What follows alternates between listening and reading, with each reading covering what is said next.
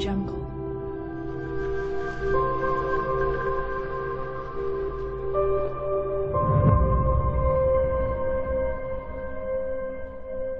Audio Jungle.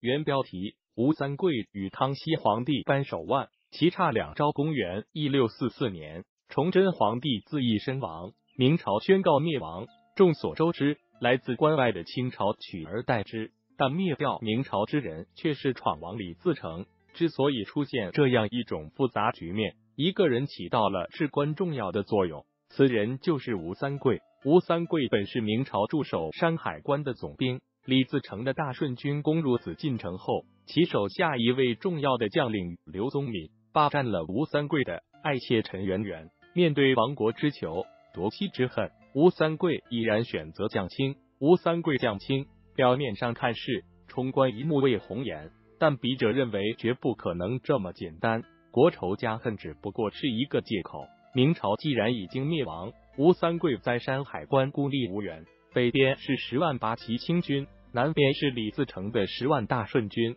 吴三桂驻守山海关总兵力只有三四万，不是任何人的对手，因此必须选择一方作为依靠。投降李自成肯定不行，否则他将背负更多的骂名。降清成了他唯一的选择，联手清军，吴三桂最终报了一己之仇。李自成的大顺军被击溃，他本人也是生死未卜，去向成谜。帮助清军入了关，吴三桂继续为清朝效力，南征北战，立下不朽战功，最后被封了个平西王。为了讨好清朝统治者，吴三桂甚至不惜千里奔赴缅甸，抓回了南明皇帝朱由榔，并且将其绞杀于昆明。吴三桂的所作所为遭到了世人的唾弃，但得到了清朝的信任。此时，吴三桂的私心表露无遗。他就是想暂时偏安一隅，养精蓄锐。康熙皇帝继位后，由于年幼，吴三桂可能更不把他放在眼里，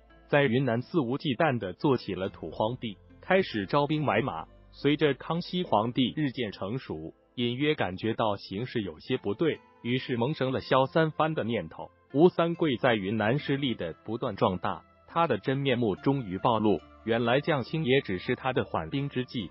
并非本意，吴三桂想要做的就是推翻清朝统治，自己当皇帝。后来发动的三藩之乱就证明了一切。吴三桂其实是早有预谋，经过近三十年的发展，他认为时机已经成熟，可以和康熙皇帝扳一扳手腕。吴三桂并不是盲目自信，单就兵力来说，吴三桂不逊于大清朝。财力方面，清朝入关之后一直没有站稳脚跟。战争不断的消耗国力，吴三桂多年积攒的财力与康熙皇帝不相上下。三藩之乱刚一开始，吴三桂就将优势发挥的淋漓尽致，仅三个月不到的时间，就成功占领了云南、贵州、湖南、四川四省，一时间士气大振。清朝入关之后，民间反清复明组织一直存在，大都集中在长江流域以南的广大地区。吴三桂宣布与清朝作对，这些民间组织都积极加入。除此之外，福建的耿精忠、广西的孙延龄、广东的尚知信、陕西的王辅臣，他们也都纷纷响应。这样一种大好局面，吴三桂的胜算远远大于康熙皇帝，但他最终还是败给年轻的康熙皇帝。康熙皇帝有雄才大略，这一点毋庸置疑，但吴三桂却是败在了自己的手下。为何这么说？原因有二。第一个原因就是吴三桂过早称王称帝。吴三桂最早称王的时间是康熙十二年（一六七三年），也就是在这一年，康熙皇帝宣布撤藩，吴三桂自称周王。虽然喊出了兴明讨鲁的口号，但这一举动彻底丧失了人心。他这么做就是司马昭之心，很不利于团结反清复明这一庞大的队伍。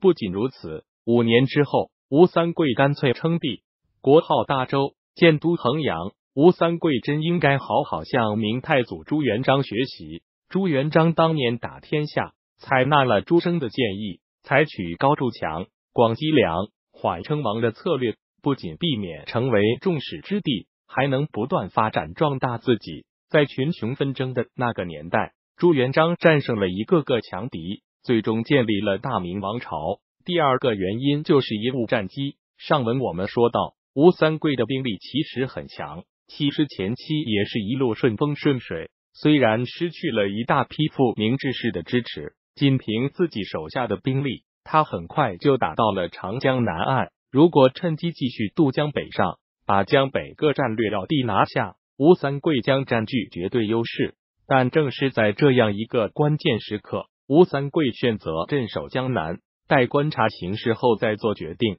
这么一观察就是三个月之久。清朝则利用好这段时间，从全国各地调兵遣将，选择让大军停留在长江南岸。可以看出，吴三桂其实并不自信，也没有雄心壮志，他只是想当皇帝，也许并没有想过要一统山河。能够与康熙皇帝划江而治，吴三桂已经心满意足。